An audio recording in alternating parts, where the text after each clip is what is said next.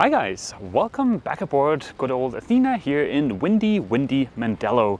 Mike and Julian flew home yesterday, so I am all alone aboard the boat now. The plan is to have Ava fly out in a couple of weeks with a new drive unit for the autopilot. That means I've got a couple of weeks to do some DIY projects. My name is Mads, this is my wife Ava. I've spent the last five years on a somewhat extensive refit of our 1987 Warrior 38 named Athena. That was a DIY fun-packed adventure complete with a very extensive osmosis treatment, building a new rudder using vacuum infusion, rebuilding the entire deck, gutting and subsequently rebuilding most of the interior, painting the top sides, and a ton of other projects. The summer of 2021, we started cruising full time. Now, we're finally ready to begin our adventure. The biggest project I would like to tackle while I'm still alone here aboard the boat is to install the 16,000 BTU air conditioning unit Dometic has graciously sponsored.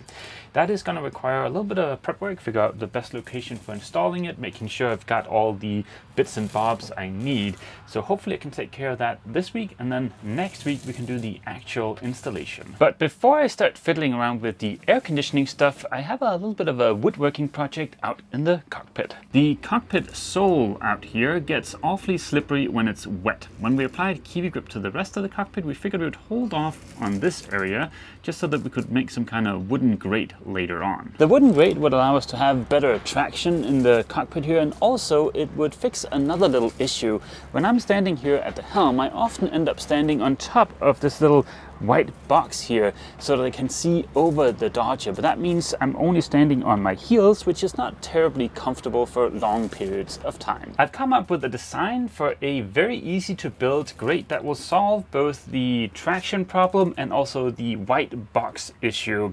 This all started last week when Julian and I spotted a tiny little woodworking shop on our way to the hydraulic workshop. One of the guys from the workshop brought me to a local lumber yard.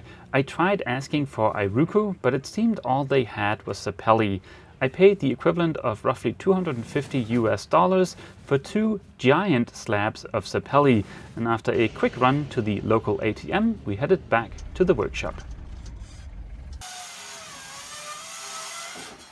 The guys set to work machining the wood. Seeing as my Portuguese is non-existent and only the owner of the shop understood a little bit of English, there was very much a language barrier.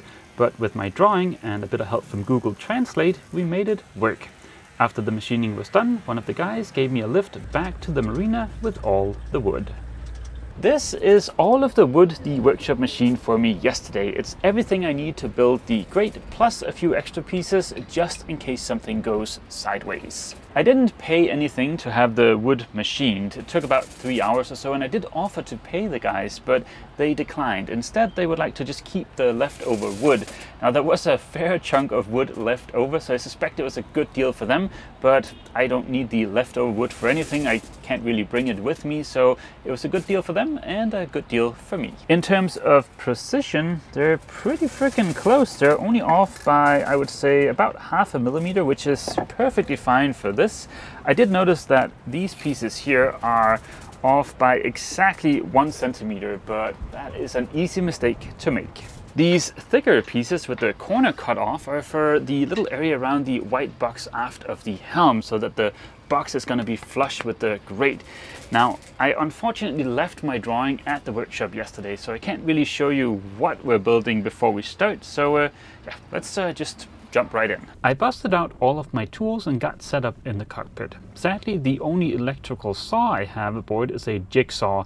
Not exactly a tool that's well known for its ability to make super straight cuts, but for this I think it'll be fine. I squared up all the ends and trimmed all of these supports to length.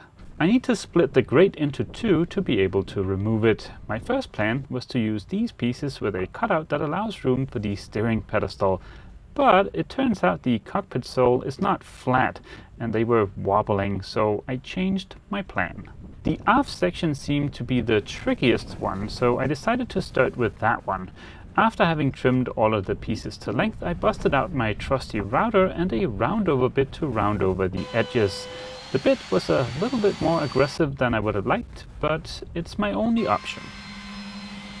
After a light bit of hand sanding, it was time to start assembling the first section. I pre-drilled and also staggered all the screws to minimize the chance of the wood splitting. The first test fit was very encouraging and after a little bit more oh glorious screwing, I finally had the sweet sweet luxury of a flat place to stand at the helm. I gave the section a light sanding before moving on to the forward section. I got all the pieces trimmed to size and got all the edges rounded over, so all that's left now is yet more screwing. Said screwing will have to wait until tomorrow because we're running out of daylight. It took a lot longer to put together the aft section than I had expected, but at least it's done. The gaps down here are not 100% uniform, but uh, it was the best I could do. I'm pretty sure I won't notice that in a few weeks, and it brings me to an important point, and um, that's the design of this grate is as simple as I could humanly possible make it. Of course, you can make super fancy grates where they're all inlaid and just super nice, but yeah, with the precision from the woodworking shop and the tools I have here aboard the boat, this needs to be very simple. The marina here seems fairly secure, so I'm just gonna leave my tools and all this stuff out here so I'm ready to jump back into it tomorrow morning. You may have noticed a squeaking noise in the background. It's because the marina here, while being pretty secure, is also a little bit on the lumpy bumpy side. So much so that it has already wrecked one of our mooring compensators. And there's already a tear in the next one right up here, so I'm sure that's not long for this world either. The one over here on the starboard side, which is a different brand, is doing much better. So the next time I have to get mooring compensators, I'm gonna stick with this brand. All praise Unimer. I'm gonna call it a day and have a nice relaxing evening and uh, I'll see you guys bright and early tomorrow morning. I started the day by marking the position of the supports. It would have been a lot easier to build this grady thingy with these screws from the top going down and then hiding the screws with little wooden bungs, but I'm pretty sure wooden bungs would be very difficult to find here. After a successful test fit, I moved the forward section to the pontoon to get a little bit more room. After copious amounts of screwing and trimming the ends, it was finally time to see if everything still fit. The forward section is also a nice snug fit, so it takes a little bit of finagling to get it in there, but once it's in, it looks pretty good for something that's cobbled together on a pontoon. There is only really one downside to this setup and that's the fact that the deck fill for our diesel tank is hiding underneath it. Of course the easiest thing to do for now would be to just ignore it but I do think it's going to be annoying long term and especially when we're underway because sometimes we use our jerry cans up on deck to refuel our diesel tanks with when we're underway and removing the forward section with the boat rocking and bouncing yeah, that doesn't sound super appealing. If I add another support here and down here, I should be able to just cut out this section here and have access to the deck fill. I grabbed a couple of quick measurements to make sure I got the opening in the right spot. I drilled all the holes I'll need and got all the screws started. Using a bit of 5 minute epoxy should make absolutely sure nothing comes loose. The epoxy came with this fancy mixing tube which in no way worked so I ended up mixing it the old fashioned way with a bamboo skewer. With all these supports glued and screwed in place, I flipped the grate over and cut out the small access hole. The very last thing I did was to epoxy in place some little spacers to keep everything nice and centered. It is the next morning and uh, the epoxy from yesterday has cured nicely. So we now have a tiny little access thingy for the deck fill. With this guy removed, there should be just enough room for a winch handle to get in there. And voila, diesel access. The little tabs I adhered to the sides here do a great job of just making sure everything is nice and centered. The grate is not 100% done yet because right now the supports are sitting directly on top of the cockpit sole. So that means water will have a hard time getting past there. The plan has always been to take little plasticky furniture doofus and secure those to the bottom of the support so that there's a bit of a gap down there.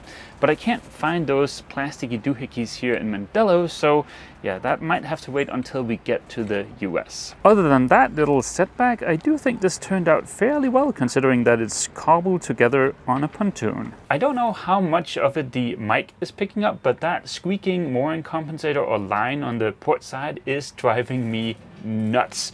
So my next order of business today is going to be to head to the boat store and see if they have a mooring compensator there. They don't necessarily have the biggest inventory there, so I'm kind of afraid they don't, but uh, fingers crossed. Just as I was leaving the boat, I got a call from Mark. He's at the drive unit manufacturer with the two broken units, and they wanted to check a couple of things with our installation. So I emptied out the cockpit locker and folded up myself to fit inside. They had me check the alignment of the mount relative to the tiller arm and also check for resistance in the mount on the bulkhead.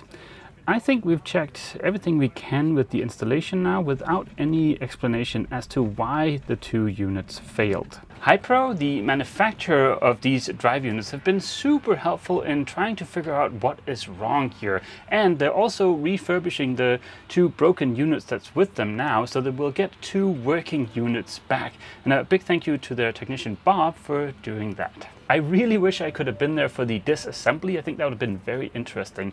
But they did find some wear marks on both of the piston rods from both units. And that's why they had me check the installation again, because it looks like there's some kind of sideways force being applied or something is wonky. Now, they did also find uh, some assembly issues or one assembly issue, possibly with both of the units. The reason I say possibly is because we did have or attempted to fix one of the units here in Mindelo, so we don't know if that issue is from uh, here or from the factory. But yeah, it all boils down to we don't really know what went wrong, but at least now we have, or we'll soon have, three working units. Maybe it's some kind of weird combination of the assembly issue and the little steering issue we had in the passage from the Canary Islands to Cape Verde, but then that wouldn't really explain why the first drive unit died. So yeah, it's it is a little bit of a mystery. I think the best thing I can do for now is just to see how the Atlantic crossing is going to play out because with three units, I mean, there's a pretty good chance we're going to get across. And then when we're in the US, I can put the boat up on the hard, drop the rudder, and just triple and quadruple check all of the steering just to make sure there are no issues there. Anywho, I was heading to the boat store to see if they had mooring compensators. I'm holding off on showing you Mindelo until Ava gets back. I think that'll be a fun video to shoot with her. But in case you end up here needing some boat stuff, the one and only boat store in Mindelo is called Boat CV. It's located about 10 minutes from the marina up on the first floor in what looks like an apartment building. Alas, I have returned empty-handed. They were sold out of mooring compensators. But I have managed to find a lot of the stuff I need for the air conditioning install here on the island.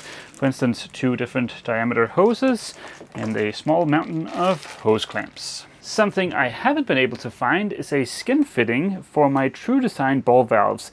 So I'm going to use this Groco one instead. It doesn't really help me out a whole lot because I need to go to half an inch hose and this is three quarter hose. And of course, this is an NPT thread and not BSP. So Ava's gonna have to bring a hose barb in the right size and also a sea strainer. I wasn't able to find that here either. But I should be able to get started on the air conditioning install next week. Of course, before I reached out to Dometic regarding the air conditioning, I did double check that we have room to install it in the hanging locker. But that's the only place I've checked. I just want to make absolutely sure there's not a better location for it. As always, I have thoroughly read and reread the manuals. One of the great little illustrations that were included is this one, where we see that the air conditioning or condenser coil is located above the waterline. Just to make sure I cross all of my T's and dot all of my whatevers, I did reach out to Dometic just to verify that the unit has to be installed above the waterline. They said that it is okay to install it below. The reason they've got it up here on the drawing is so that it's easier to drain the condensate from the unit. With that little question cleared up, there are some potential places for me to install the air conditioning The first one I thought of was behind the dryer in here. That would involve pulling the dryer inboard a little bit to leave room for the air conditioning unit. That would be a great option if it wasn't for the fact that I'll have to put a vent grady thingy over here to be able to get cold air into the saloon. And that means cutting a giant hole right next to our most highly loaded chain plate. Another option could be over here underneath the settee, but uh, yeah, we'll have to grab a quick couple of measurements of the unit to see if that will actually work. This thing is pretty freaking massive. There is enough room in here for the unit. I'd have to cut a big hole here for the 7 inch ducting that connects to it and then it would all be dependent on whether or not the 7 inch ducting can come up behind here. This is the giant Y that's used to connect the 7 inch outlet to the 6 and the 4 inch outlet. So this would have to go either down here or somewhere in behind here. I'll definitely have to bring the ducting out going forward and then up through this area here most likely. I can't go forward underneath the settee because of the water tank. So that'll end up wrecking one, two, three, uh, three and a half storage spaces. Whereas if we install it here inside of the hanging locker, I think we'll end up losing less space overall. One of the things I need to make absolutely sure is that the unit gets enough supply air. So that will mean having to replace this door with a louver door, but that should do the trick. I've figured out where I want to install the air conditioning unit. I have sourced as many parts as I possibly can locally and I've ordered the parts I couldn't find here for Ava to bring when she flies over. So tomorrow we start installing air conditioning. I don't foresee us using the air conditioning a ton in the Caribbean because we're mainly going to be anchoring and there's going to be tons of wind to cool the boat down with. But as soon as we start heading north for hurricane season, so when we get to Florida and when we get to the Chesapeake, places like that where we might go into a marina every once in a while, I think the air conditioning is going to be a godsend. I'll end this week's video here, and then I hope to see all of you guys back here at Port Athena next week for yet more glorious DIY fun. So yeah, as always, feel free to leave a comment down below, and don't forget, if you've enjoyed this video, please remember to leave a like. See you!